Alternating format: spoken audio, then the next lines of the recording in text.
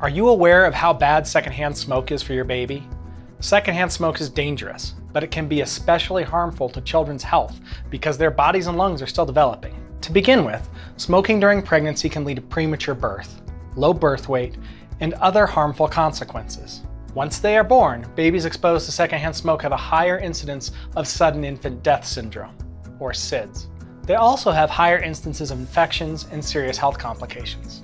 Creating the safest place for your baby means making it smoke free. So if you do smoke, the best thing to do is quit.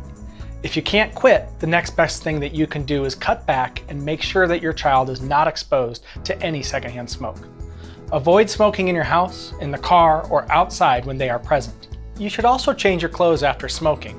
Harmful chemicals and tobacco smoke can be absorbed by your clothes, and your child can still be exposed even if you're not smoking in front of them. Keep in mind your children watch everything you do. Children of smokers are more likely to smoke themselves. If you can't quit, or at least limit your smoking, please go to your UC Health provider for help. The health of your baby depends on it.